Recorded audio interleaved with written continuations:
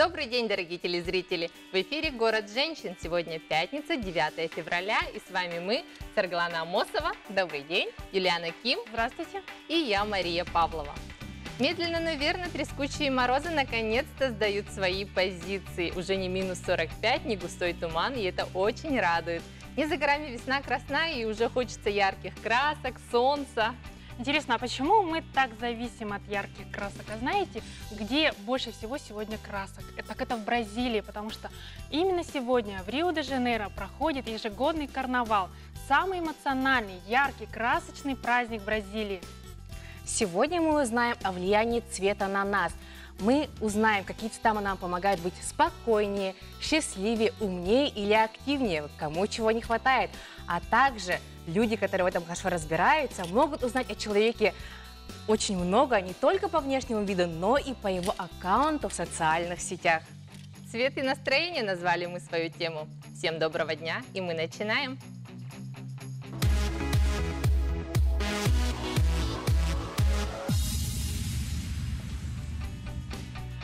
Дорогие телезрители, сегодня у нас в студии будут очень интересные гости. Признаемся, мы их пригласили сюда, чтобы зарядиться порцией хорошего настроения. А перед тем, как мы начнем их приглашать, предлагаем начать передачу с нашей традиционной рубрики «Фабрика идей» от Юлианы Ким.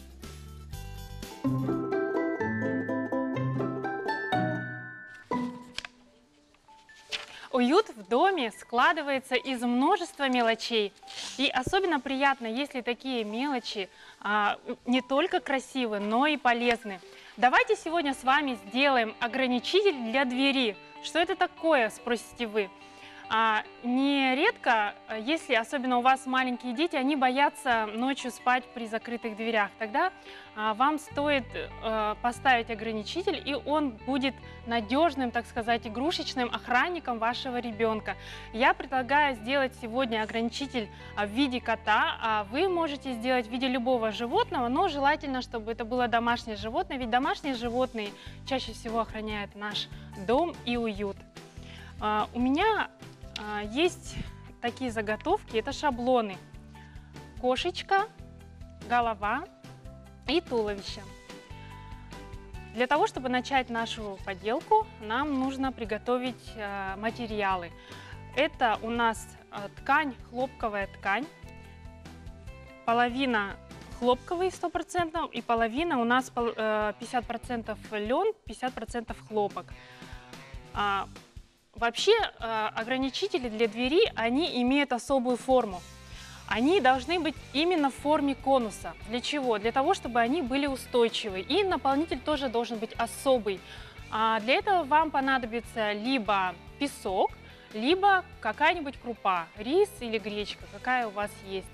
А я сейчас буду переводить шаблон на ткань с помощью карандаша. А, Высота моего котика будет 47 сантиметров. Затем я прошью все это на машинке. На машинке. И э, буду наполнять холофайбером верхнюю часть, а нижнюю мы положим рис. а, Для того, чтобы котик наш был устойчивый. Также у меня есть круг такой, это вот у нас будет донышко. Мы его подошьем снизу. И не забудем про хвостик. А также мы украсим э, ленточкой э, шейку нашего котика и э, приклеим красивые вот такие цветочки. Значит, мордочку мы будем рисовать акриловыми красками. Вот такой акриловый контур черный. И будем приклеивать различные бусины. Ну и также вам для работы пригодятся иголки, нитки, швейная машинка и ножницы. Ну а я пока начну, а Так. итоги покажу в конце передачи. Так интересно, традиционно мы увидим все только в конце передачи, дорогие телезрители, так что набираемся терпения. Девочки, сегодня мы говорим о цвете. А вот какого цвета помещениях вы любите находиться? Ой, готовясь к передаче, да, я вообще а, была так рада, что у нас такая тема, потому что мне вот не интересно. Я люблю находиться в светлых помещениях, чтобы там было такой, а, такие теплые оттенки, а вот если стены темно-розовые или красные, я чувствую себя не в своей тарелке. Комфортно, да? Да, у меня тоже дома а, окружает только светлые тона, мебель вся у меня в белом. Говорят, что белый цвет, э, он а, он э, успокаивает и придает сил. М, Об этом психологи многое наверняка могут сказать. Доказано, что цвета в интерьере могут формировать настроение, оказывается. А также с помощью света можно маскировать недостатки интерьера и совершенствовать его дизайн. Об этом поподробнее нам расскажет наша первая гостья, архитектор-дизайнер, фэншуй-планировщик, основатель компании «Тривиди» по изготовлению корпусной и дизайнерской мебели и Юлия Шергина. Добрый день, Юлия. Здравствуйте. Здравствуйте. Мы рады вас приветствовать в нашей уютной студии. Я тоже Рассказывай. очень рада, что попала к вам. Я мечтала буквально с ноября месяца к вам попасть. Так что мечты осуществляются. Действительно, оно так. Вот расскажите, какие цветовые тенденции в интерьере актуальны вот в этом сезоне? Ну, как всегда, пастельные тона все равно они всегда идут впереди. А так, конечно, в этом 2018 году красные какие-то акценты только. То есть стены не надо красить в красный цвет, просто акценты э, мебели, там э, для, может быть, даже в текстиле можно использовать красный цвет, все. А так, насчет тенденции, я вообще даже не смотрю на эти тенденции, так как для именно заказчиков моих, я смотрю только для их. А, то есть, как, что они будут делать именно в своем доме? Будут отдыхать или наоборот, будут ли вести какую-то да, работу, работать?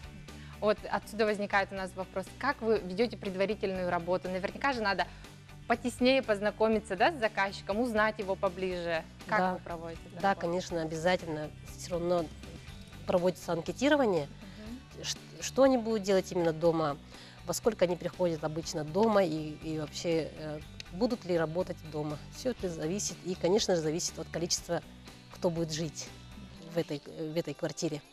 Возраст, профессия тоже? Обязательно учитывается и профессия, и возраст. А есть такое то, что а, вот у тех, кто такая суета на работе, хотят дома спокойствия, и наоборот, у кого спокойная такая э, сидячая, возможно, работа, хотят дома ярких красок. Есть такая тенденция? Да, есть, конечно, говорят, что а, ну, все это зависит от а, этой от комнаты. В какой комнате можно использовать, наоборот, активные тона, да? А может быть, спальня, наоборот, использовать э, теплые какие-то оттенки. Ну, на ваш взгляд, а, вот спальня, да, у нас это вот именно м, место, где мы отдыхаем. Какие цвета есть хорошие? Ну, конечно же, почему-то у нас в Якутии а, главную роль играет именно слоновая кость и бежевые тона, оттенки, то есть теплые кофе, э, кофе с молоком, например. Да, вот у меня как раз-таки так. Мгм.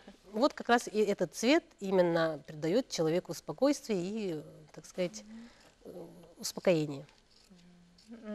А вот э, говорят то, что в детской комнате для гиперактивных детей надо использовать такие цвета поспокойнее. И наоборот, для слишком спокойных детей это какие-то яркие акценты, да? Да, да, да. Совершенно верно. Надо использовать, конечно, если гиперактивный ребенок, конечно, надо использовать более тонкие э, эти тона, ну, пастельные имеется в виду. Но а, цвет в детской комнате лучше использовать не только в на стенах, но и на мебели, но и на, и на игрушках. Поэтому надо там очень тонко к этому подойти. Мгм. Это прям целая психология. Да, да. Вот вы еще являетесь фэншуй-планировщиком. Со стороны фэншуя вы тоже э, смотрите, да, вот где О. там какой угол правильный, неправильный, где что поставить. Да, это очень довольно-таки, э, конечно же, считается историческое, а, исчисляемое тысячами э, лет а, закон, так сказать, скажем так, энергии. Поэтому каждый год меняется, по идее, меняется и расположение, так сказать, телевизора. Поэтому мы пытаемся в проекте предусматривать несколько вариантов расположения телевизора, потому что телевизор активирует зону. Ну, это по феншую все это дело. Да, я считаю, то, что это очень хорошо работает, потому что даже вот э, у моих знакомых до ремонта у них было не все очень гладко. Они сделали ремонт, они как-то вот им тоже посоветовали, как сделать, и сразу все стало очень гармонично. Да, да. Надо на это внимание обращать обязательно. Очень, да, очень надо обращать внимание, поэтому так как каждый год меняется все, поэтому Да, а вот бывает то, что а, вот я нередко работаю дома, и у меня есть только одна комната, где я могу работать. Да, вот э, если э, у меня есть зеленая комната, есть бежевая, там я вообще ничего не могу делать. А кухня, она у меня желтая. Ух ты. Да, и там я прямо творю, могу все что Да-да-да. угодно делать. И вот именно этот цвет на меня так влияет. Да, да, да, этот цвет именно желтый, это как раз к творчеству очень подходит. Да. Так Да-да-да. интересно. Ну и да? хорошо, значит, для кухни может творить не только там какие-то свои проекты, но и вкусные блюда. Да, да, да, совершенно верно. А есть такие цвета, которые подходят вот именно кухне, гостиной, как-то разделяется? Ну, можно разделить, можно и не разделять. Все это зависит от жителя этой квартиры. Стоит ли вообще этим задаваться вообще? Поэтому все очень индивидуально. Мгм. А что вы советуете своим клиентам? Я обычно смотрю на их, э, как при разговоре уже ощущается, что человек довольно-таки активный, довольно-таки спокойный, все равно ощущается, поэтому я им сразу же предлагаю, спрашиваю, какой цвет вам нравится. Все, от этого отталкиваемся. Ну вот тонкий психолог, да, Да-да-да. чтобы вам еще А надо какие человека понять. сейчас Да. э, тенденции в моде? А вот открыто делать студию, то есть совмещать кухню и зал, или же сейчас как-то отходят от этого заказчики?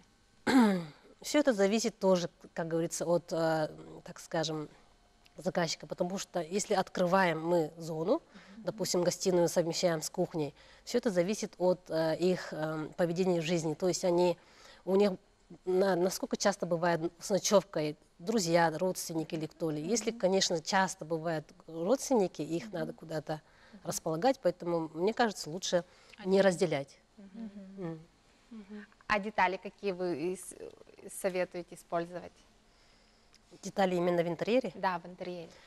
Ну, все это то- тоже зависит от... эм, Все это, конечно, скажем, индивидуально, да, да, вот но все-таки да, да, но все-таки все все-таки какие-то Какие-то особые торшеры, вот подушки, светильники. А, ну, коврики. да, Да, конечно. хорошо вообще, когда много цветных Цветы. вещей в доме. Но это все зависит от, даже можем сказать, от времени года. Допустим, зимой лучше использовать, конечно, яркие тона, ну, текстиль, какие-то детали, потому что все-таки зима у нас очень долгая и холодная, и лучше уже добавить каких-то ярких цветов. Это будет нам поднимать настроение. Да, поднимать А настроение. дома можно хранить искусственные цветы? Вот сейчас очень красивые делают копии цветов. Об этом мы поговорим сразу после рекламы, после которой продолжим. Небольшая рекламная пауза, дорогие телезрители.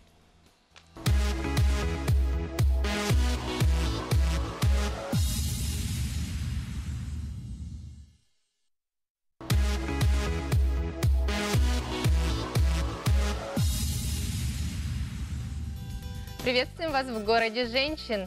И сегодня у нас в гостях э, архитектор-дизайнер, фэншуй-планировщик, основатель компании «Тривиди» по изготовлению корпусной дизайнерской мебели и Юлия Шергина. Мы говорим о цветовых тенденциях, решениях и получаем практические советы от профессионального дизайнера. Юлия, расскажите, пожалуйста, что у вас за компания, как, давно вы на рынке, какие у вас фишки? Начинали мы с 2006 года. Я как, начинали как э, по проектированию интерьеров. И через 6 лет мы начали изготавливать корпусную мебель. Мы все э, по нашим проектам мы делаем корпусную мебель для своих же интерьерных проектов. Мгм. Да, то есть у вас можно все сразу, да, под все ключ? сразу. ключ можно. Можем осуществить э, ремонтные отделочные работы. Да, как удобно. Мгм. М, как хорошо. А какая сейчас мебель? Из какого материала наиболее актуальна? Пользуется популярностью? Ну, Популярностью, конечно же, из массива. Но мы делаем не только из массива, но и из ЛДСП, и из МДФ. Мгм. Да, Я вот сейчас хочу, а, пользуясь случаем, да, вот мне это самой очень интересно. Вопрос про зеркала. Мгм. Вот это же очень такая, такая, такой предмет интерьера, к которому надо аккуратно относиться. Вот говорят, что нельзя, вот входная дверь открывается, зеркало не должно стоять, да, впереди. А вот где его лучше поставить? Э, С точки зрения фэншуй, конечно, его поставить э, на нехватающей, скажем так, зоне. Ну, это, конечно, делается по аудиту квартиры, если там не хватает зоны именно. Но если, конечно же, требуется вешать зеркало именно где надо, то есть рядом со входом или где-нибудь сбоку, то, конечно, можно вешать. То есть вы даже можете Не делать аудит, да? Да, Да, я вам обязательно подойду после передачи. да, конечно. Аудит, мебель, все сразу, да? А По какому адресу вы находитесь? э, Где вас найти? Где ваши работы можно посмотреть? Наши работы можете посмотреть в аккаунтах э, Айшергина и 3 мебель. Но мы находимся в 50 на улице 50 лет Советской армии, 5, ТВЦ «Саха Мебель». Да, а вот а, атмосферу и интерьер дома создают не только вещи, но и растения. Да. А вы, ну, какие растения рекомендуется держать в доме? Какие делают хорошее настроение? Ну, э, конечно, фикус, скорее всего, самый главный. Я считаю, что с точки зрения даже феншуй он неплохой, неплохое растение. Поэтому начиная от фикуса, заканчивая от любимых цветов. Да, а вот сейчас э, вот денежное дерево, да, вот, вот толстянка, Да, оно, толстянка. оно благоприятно, оно Да, она очень благоприятна, так как его листья округлые, следовательно, они похожи на Да. монеты. А, а в спальне можно ставить такие Нет. живые растения? Нельзя, Нет, да? нельзя. А я еще слышала, что телевизор тоже не рекомендуется Не в спальне. рекомендуется. По идее, не рекомендуется. Да, ну, у всех есть, да. Да. Ну, все ставят именно напротив кровати. Да. А Ю- Юля, скажите, какой был самый интересный проект, который вам прям самой понравился, такой азарт? И- Или необычный, может? Все проекты для меня очень азартны, и они очень интересны, поэтому я никак не могу выделить что-либо. Где Вам дают фантазию или же где говорят конкретно «хочу вот так, хочу вот так, хочу в таком цвете». Где не ограничивают? Да, где не ограничивают. Не, дело в том, что где не ограничивают, бывает тоже иногда неинтересно. Обычно мне интересно, когда заказчик знает свое, что, что хочет. Но мы с ней спорим, может быть, даже где-то местами а, я ее приостанавливаю, например, да, заказчика имеется в виду. Или наоборот, говорю, да, это подходит, то есть подтверждаю ее видение. А как вы относитесь к фотографиям? Э, Вот, э, допустим, фотографии живых людей на стенах в доме. Фоторамочки. Да, это Которые хорошо сейчас нет? очень Ну, модно. фотообои, да? Сейчас вернулись. Ф- Ну, фотообои, в принципе, можно, но, э, как сказать, э, это не особо не регламентируется. Просто с точки зрения, опять же, нашего феншуя, да, скажем так, семейные фотографии лучше хранить на, со стороны востока, то есть э, с восточной стороны дома. Поэтому Так будет лучше. Где зона семьи? А вот еще говорят, что нужно больше округлых форм. Вот как у нас в студии, видите, все Да, красиво, все кругленькое, да, круглый, меньше да. углов. Поменьше Это, эти углов. советы действуют на всех или опять-таки тоже Нет, индивидуально? все индивидуально. А вот как думаете, в последнее время, как вы и сами сказали, больше стало актуально такие нюдовые цвета в интерьере? Почему? С чем это связано? Ну, не могу сказать точно, но все равно цвет влияет на человека, поэтому с этим очень надо осторожно быть. Да, а вот, и, и вот я спокойная. Мгм. Какие мне цвета добавить э, к себе, ну вот какие-то цвета, чтобы растормошить себя, может? Чтобы с утра мне просыпался, хотелось сразу танцевать. Какие цвета добавить? Я бы не сказала, что перекрасить цвет стен, да? Мгм. Просто можно, можно обойтись только деталями, как мы Мгм. говорили, шторы текстильные, допустим, подушки или цвет мебели. Все. Да. Какой цвет? Какого, Какого цвета? цвета именно? Мгм. Вам подойдет оранжевый. Оранжевый. Я, видимо, чувствовала, и сегодня так Ага. оделась. да. И чувствую себя сегодня, да. Да, да, да. Близкий Хорошо. цвет, да, к оранжевому? Да. Все-таки вот возвращаясь к вопросу про цветы, можно ли дома хранить искусственные цветы? Нельзя с точки зрения фэншуй. А так, в принципе, если вы не против всего этого, то почему бы и нет? Если не верите, то можно все, да? Да. Спасибо большое, Юлия, за ваши практические советы, что погостили у нас в студии. Мы желаем вам удачи и творческого полета во всем. Спасибо большое. Спасибо. А далее у нас будет рубрика, которая вызовет улыбку у каждого. А, наша рубрика называется «Дети», а ее героем может стать а, каждый наш телезритель. Вам нужно всего лишь отправить нам фотографию вашего малыша. Но предупреждаем, что это не конкурс, а просто наша видеорубрика.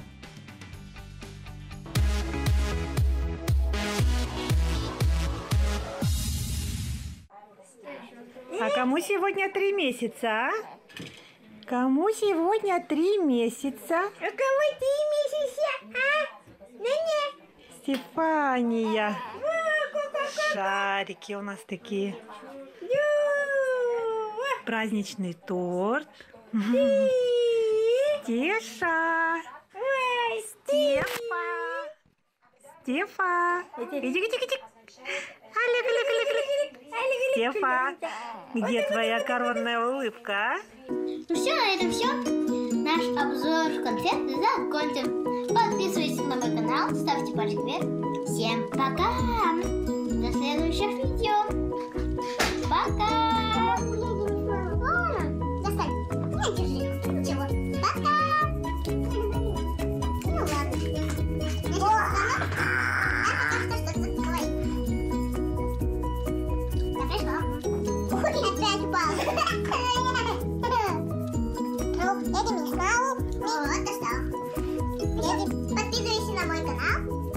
Thank you.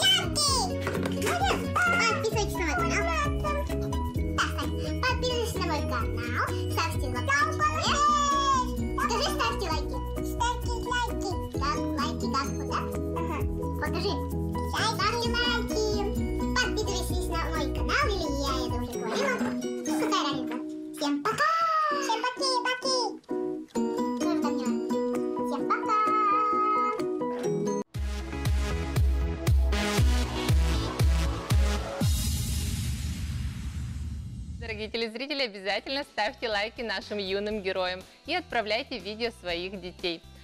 А мы продолжаем нашу передачу. Сейчас в студию к нам зайдет девушка с золотыми ручками и безграничной фантазией.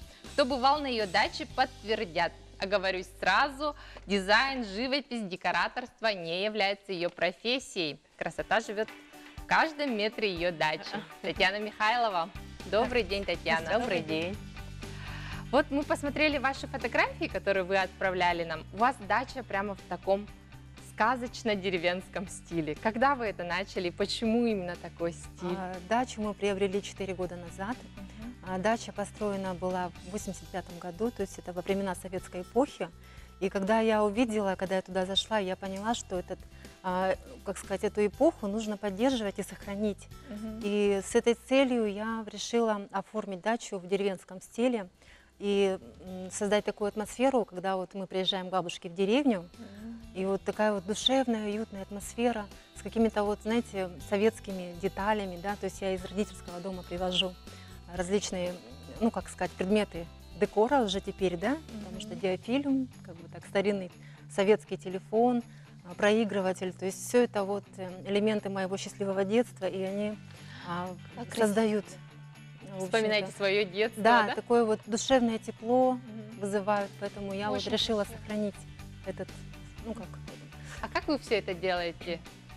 Вы, мы, я знаю, вы придаете вторую жизнь старым вещам. Да, я увлекаюсь тем, что я даю новую жизнь старым вещам, потому что дача это такое место, куда мы привозим вещи, которые не жалко, да, то есть, Мгм. э, и а, использую разные техники, то есть в технике декупаж оформляю.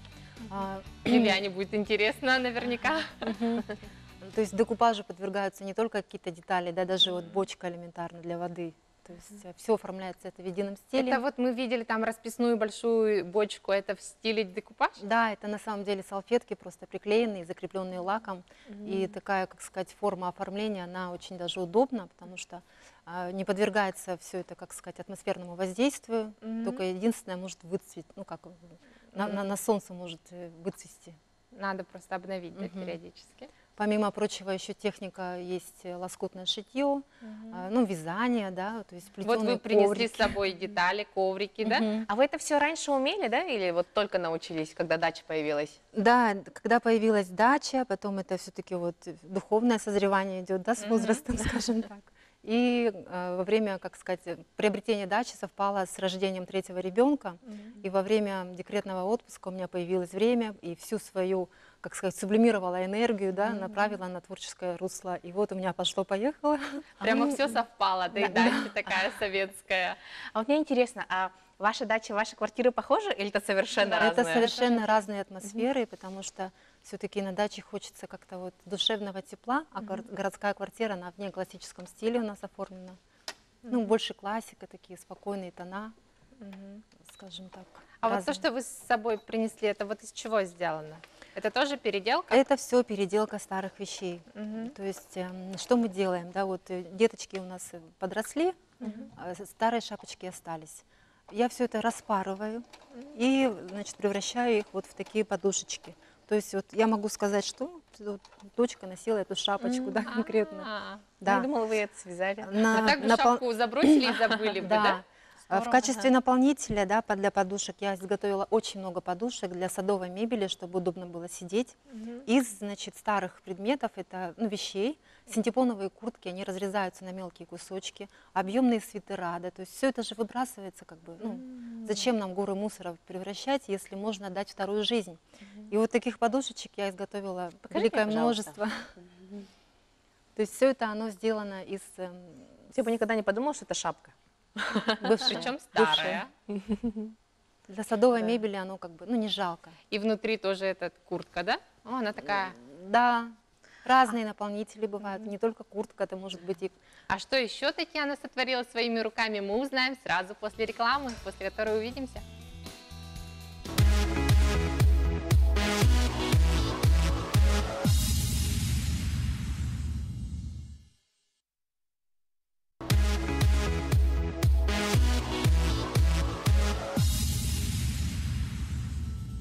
Еще раз добрый день, дорогие телезрители. Вы смотрите «Город женщин». И сегодня у нас в студии в гостях девушка Татьяна Михайлова, чья дача вдохновила наверняка многих на переделку старых вещей. Вот, например, вот так вот из старых шапочек можно сделать такую красивую подушечку. Вот у нас есть коврики даже. И, Татьяна, мы знаем, что вы еще переделываете мебель. Да, я считаю, что вообще моя жизненная позиция такая, что не обязательно покупать дорогие какие-то предметы, да. А, Можно, вот, имея вкус, имея теоретическую базу знаний какую-то вот в области дизайнов интерьеров, да, можно при- придать э, обычным предметам из Икея какой-то такой классический образ. А у вас есть художественное образование какое-нибудь? Нет, художественного образования у меня нет. Ага. А, Разве что я для себя а, получила, ну, как сказать, сертификат об окончании а, курсов основы дизайна интерьеров. А, для хобби своего, да? Мгм. И вот про мебель. Про мебель. А, Ну, мебель сейчас у нас э, на, на рынке продается великое множество возможностей, да, чтобы придать мебели какую-то, а, ну, ну, как сказать, переделать мебель под определенную стилистику. Допустим, вот э, можно обычный столик из Икея перекрасить баллончиком какой-то бронзовый оттенок, и он уже обретает другой образ. Придать изюминку. Да, и он становится модной тенденцией сейчас. Хромированная мебель какая-то вот, она сейчас, ну, как в моде, актуальна, и, ну, можно подогнать под стиль. Смотрите, а если вот эта дача, это понятно, там можно Мгм. брызгать, а если я хочу а, у себя в квартире что-то сделать, можете посоветовать краску, которая быстро сохнет и не пахнет? Краску конкретную, Криво. акриловые краски, да, на водной основе, они, в принципе, как сказать, безопасны в использовании. Только единственное, нужно учитывать, что вот есть распылители акриловые, а есть э, краски, которые наносятся с помощью кисти. То есть, если это а- аэрозоль, то она не оставляет разводов, а в случае, если это акриловая краска, то она, естественно, там а, кисть все-таки оставит следы. А, а вот у нас сегодня тема называется «Цвет и настроение». Какой у вас любимый цвет? И вот у вас э, дача такая яркая вся. Дело в том, что то, что касается обустройства дачи, да, здесь вот я использую яркие радужные оттенки. А почему? Потому что дети у меня подростки уже, на дачу уже не хотят, и моя задача, как сказать, их привлечь туда, заманить, чтобы они не только сами туда, но и своих друзей привели. Поэтому э, очень важно создать на даче атмосферу ярких радужных э, красок и сохранить в памяти детей образы такие вот положительные, позитивные, да. Ну, У каждого из нас есть теплые какие-то воспоминания, да, о детстве. И вот я тоже пытаюсь вот создать, чтобы они вот уютно им было, хорошо им было, чтобы они туда с удовольствием ехали и радовались, находились там, ну, чтобы уютно им было, комфортно. У вас в основном, я смотрю, все в стиле Прованс, да? Или шеби Это-? Нет, это деревенский стиль. А, это это, другое, да. А, Это больше деревенский стиль эм, Кустик, да? С рустикальными элементами и с элементами а, русского народного творчества. Почему? Потому что дача у нас находится, она засажена плодово-ягодными культурами, красная смородина растет, бузина, э, черемуха. То есть эти все культуры, они вот, вот цветут и напоминает все, значит, мотивы городецкой росписи, хохломской росписи. То есть этот фактор я тоже учитывала. То есть это было отправной точкой, чтобы Откуда вы вдохновляетесь, где черпаете идеи? Ну, в Инстаграме сейчас. Сейчас э, проблема вдохновения такого нет. В Инстаграме множество есть, э, как сказать, страниц. Вот, люблю смотреть людей, которые любят свой дом, как бы единомышленников, да, для которых очень важно, что уют в доме это ключевой. Что бы вы посоветовали нашим телезрительницам, чтобы обустроить свой дом, сделать его уютнее? Вы знаете, э, наш, ну, я считаю, что дом – это отражение, да, визуальное отражение нашего внутреннего мира, уровня духовного развития, и каждый оформляет это не в соответствии с тенденциями моды, а т- там, ну, так, как он хочет сам. По зову души. То есть, да, по зову души, по уровню развития. Допустим, если дом, это вот в моем понимании это классический стиль. Я люблю все классическое, литературу люблю классическую, мне нравятся питерские дворцы. То есть, как бы вот это мне близко. И, а есть дача помимо этого. То есть там вот деревенский уют. Я бы хотела, ну как, э, дает ощущение такого, ощущение детства, иллюзию детства создает. Поэтому вот такие Такая моменты. сказка, да? Спасибо большое, Татьяна, что погостили у нас в студии, что поделились своими секретами, что вдохновили нас. Спасибо.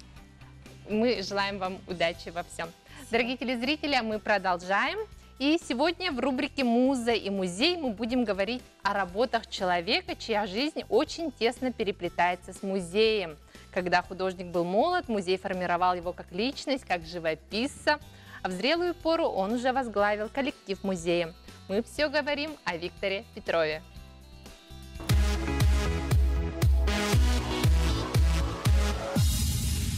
Одной из первых появляется в творчестве Виктора Петрова серия репортажных картин, посвященная строительству Алмазного Мирного, города, который еще не значился на карте. А тема малой родины красоты родной Якутии всегда была неотъемлемой частью его творчества. Картина «Журавли». Художник выбрал такой неожиданный ракурс, где есть э, показывает ощущение свободы и полета – и выбирают очень чистые, без примеси краски, звучные, говорящие, поющие.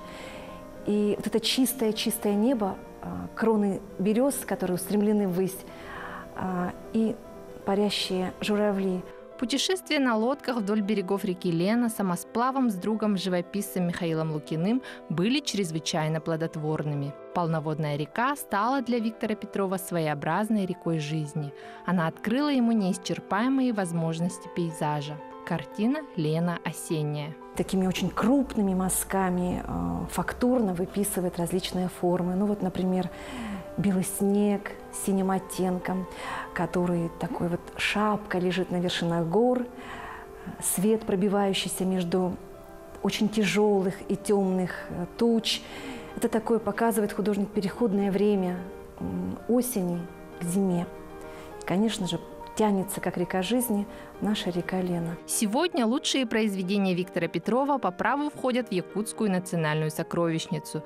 21 февраля откроется персональная выставка художника «Поэтика живописи», где среди других работ впервые будет представлена дипломная работа мастера. Сходите, прикоснитесь к прекрасному. Счастье мое белым облачком летит в жаркий летний день, а я бегу по земле, по зеленой траве муравей и ловлю его легкую тень.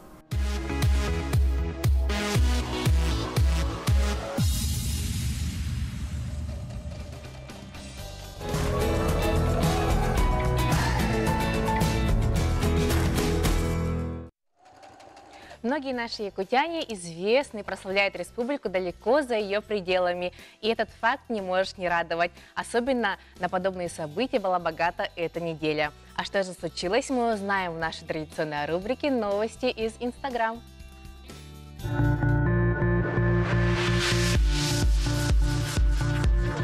На этой неделе состоялась премьера якутского молодежного фильма о любви «Мои белые ночи».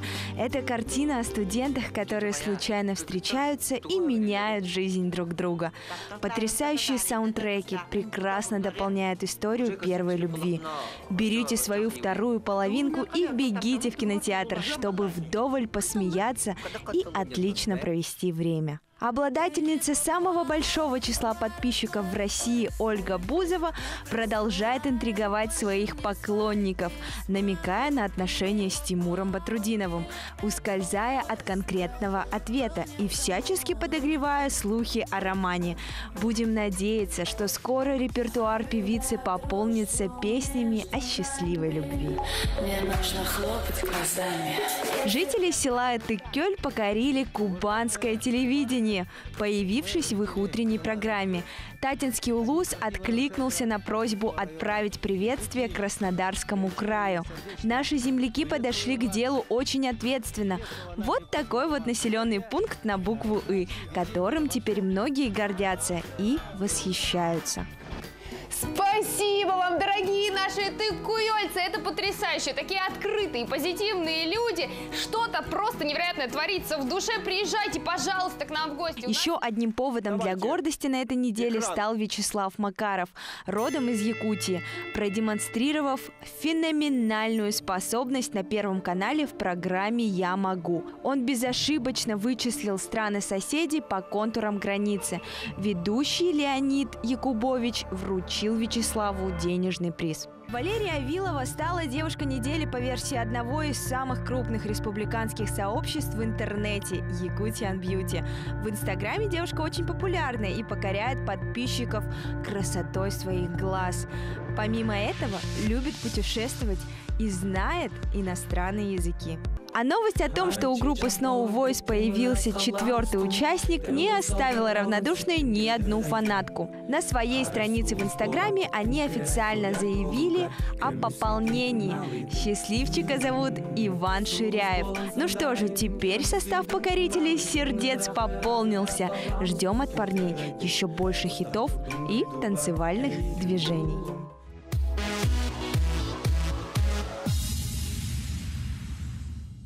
Пользуясь случаем, я хочу вам рассказать, телезрители, то, что наши коллеги из передачи «Новый день» сегодня отправили э, кубанцам очень красивый чорон. А также мы хотим поздравить наших коллег с 14-летием передачи «Новый день». Она уже 14 лет радует каждое утро а, наших якутян.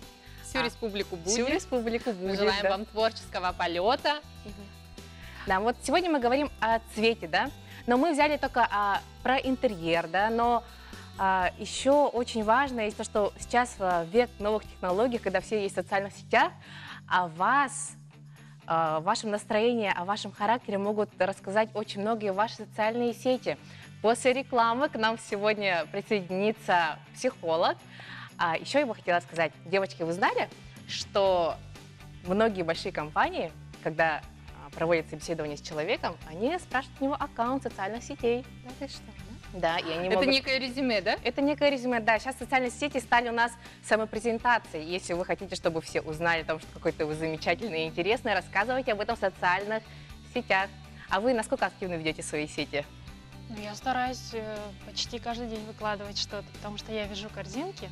Я вот то, что я сделала за сегодняшний день, я стараюсь это запустить. Да, знаешь, что я увидела? Вот ты же помнишь, у нас вязала а, очень красивый плед, да? Я видела, то, что у тебя уже около 5000 просмотров на YouTube. Да, да. Да, и и вот если Я вам тоже сама удивилась. Повторили Да, и этот вот- коврик Ага. или плед. Здорово. А я вот э, не очень активный пользователь социальных сетей, если честно. Вот выкладываю от силы раз в неделю. Могу там два раза в неделю. Девочки, знаете, что для посуды тоже цвет имеет значение? Вот, например, если тарел- тарелка зеленая, она будет увеличивать ваш аппетит. Да, а сейчас, да, а, чтобы меньше есть. Да, сейчас у нас скоро будет весна, тогда на- надо кушать синие тарелки. Здорово. А об этом подробнее мы после рекламы.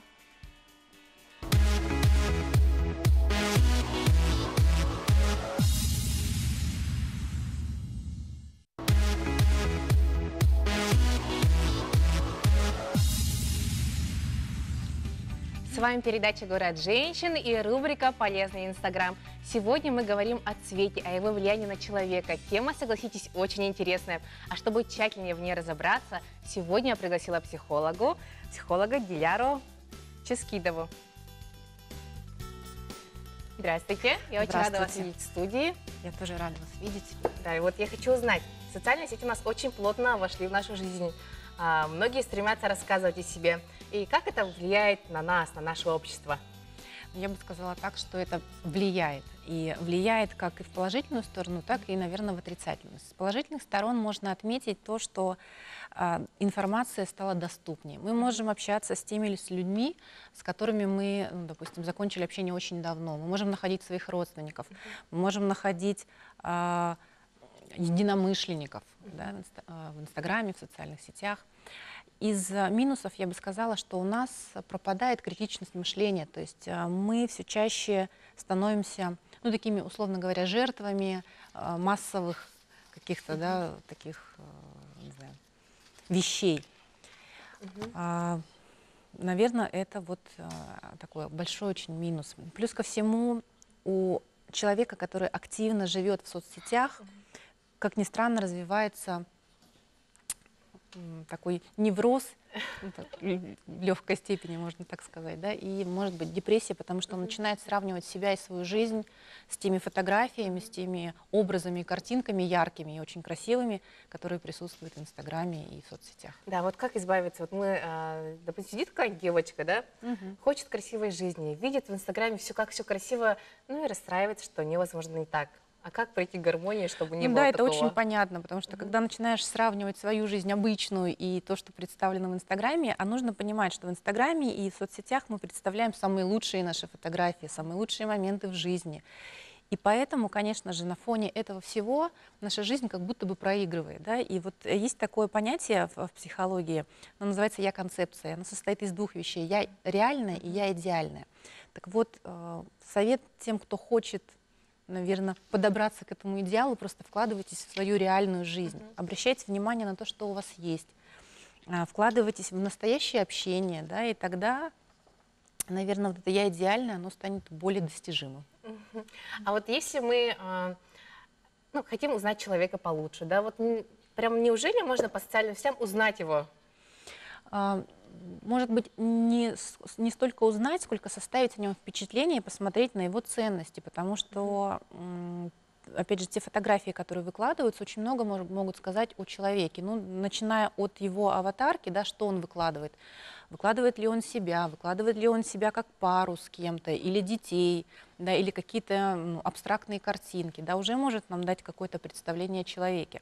Опять же, в каких а, сообществах он состоит, а, что он любит, какую музыку слушает, какие пишет комментарии. То есть это же, то есть очень много можно сказать об, о человеке, когда ты смотришь просто его соцстраницу. Да, а вот я не раз натыкалась на аккаунты, где человек постоянно э, публикует только свои фотографии, и то это вот селфи, когда он постоянно так фоткается. Вот. Наверное, что-то можно о таких людях сказать. А, Ну, я думаю, что все как-то, э, даже те, кто не обладает знанием психологии, как-то подспудно догадываются, да, что что-то здесь не так, наверное. Да?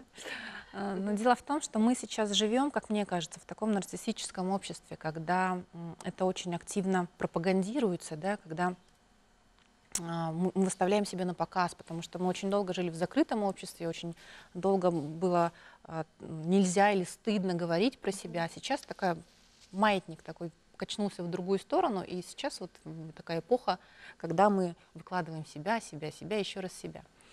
А, Что можно сказать о таком человеке, который постоянно выкладывает себя? Ну, как будто бы, а, если глазами психолога говорить, а мы же такие, да, сразу ищем во всем подвох, то, наверное, такой человек очень сильно нуждается в, в отражении, в отражении в том, что он есть, потому что это базовая потребность человека, когда ребенок рождается, ему очень важно, чтобы мама и вообще родители его отражали, говорили, что ты есть, вот ты хороший, да, ты, мы тебя любим.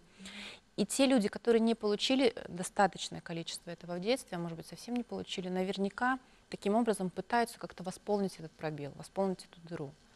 Но штука в том, что она не восполняется. И поэтому чем больше дыра, тем больше селфи. А вот, а вот селфи. А если совсем другая сторона, которые фотографируют вот мой красивый стаканчик с кофе, вот Мгм. очень красивый лес, ах, какая красивая сегодня погода, например. А такие люди, которых вообще нету в их профиле, просто то, что их окружает.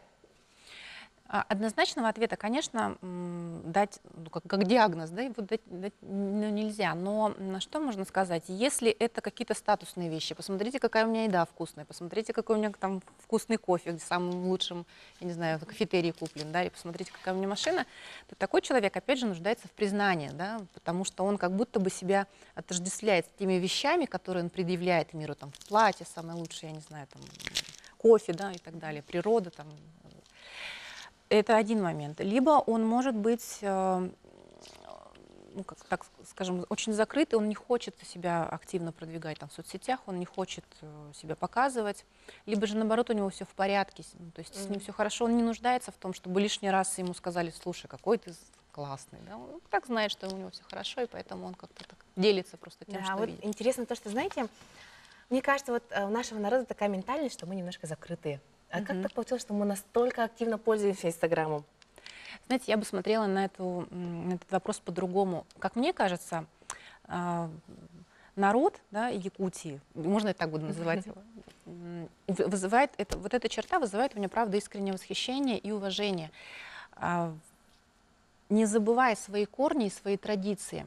На самом деле город ведь Якутск очень прогрессивный, и это правда. Если сравнивать его с другими городами, да, то по России, я имею в виду, с, там, с такой же инфраструктурой, то Якутск в этом смысле очень и очень ну, такой в первых рядах. Поэтому это такая особенность а, сохранять корни, сохранять традиции и делать что-то новое, пробовать что-то новое, да, это очень уникально.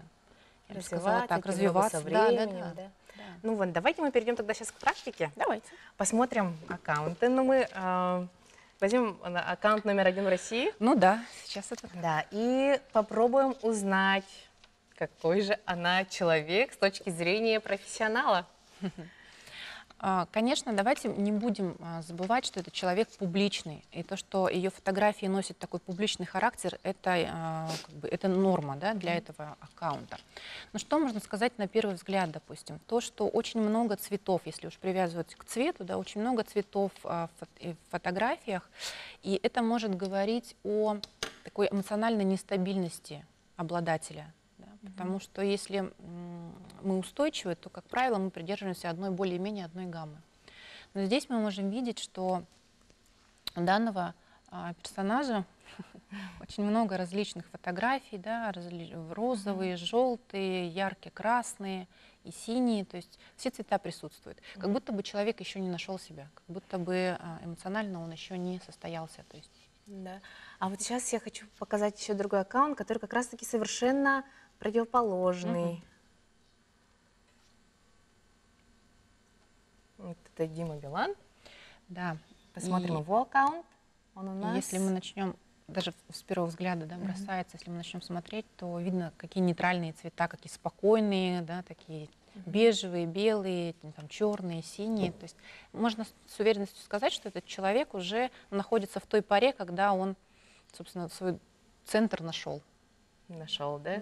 Диляра, можно я спрошу? Вот, Да. а, э, чуть ранее мы сказали то, что работодатели смотрят уже не резюме, Да. а именно страничку в социальных сетях. Что они там ищут? Вот как нужно себя преподать, чтобы, возможно, работодатель вас Мгм. принял на работу?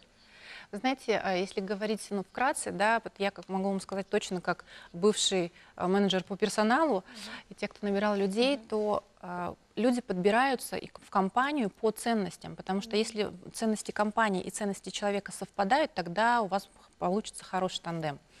Что они там смотрят? Они смотрят, ну, допустим, а, там, не знаю, кандидат очень ярко рассказал о себе, сказал, какой он коммуникативный, как он здорово общается, но при этом мы смотрим его соцсеть, и там, не знаю, 50 подписчиков, да, или там 100 подписчиков, то мы явно можем понимать, что что-то здесь Уже не- нечисто, да. Можно Либо же смотрят, как он проводит время. Если он говорит, что он занимается там здоровым образом жизни, а сам на вечеринках проводит время, то Диляра, большое спасибо вам за Спасибо такую вам. интересную беседу. вы поднимаете важную тему. Спасибо большое. Спасибо, Ди- Диляра. А мы хотим подвести итоги нашей фабрики идей. Что ж, мы раскрыли вам некоторые секреты, как э, сделать ограничитель для двери своими руками. У нас получился вот такой замечательный котик. Он э, состоит из холофайбера, верхняя часть, а нижняя часть из крупы. И он такой тяжеленький, специально для того, чтобы держать, придерживать дверь, чтобы она не закрывалась и, не дай бог, не прищемила пальчик вашему малышу. И она в форме конуса, вы заметили, Мгм. да?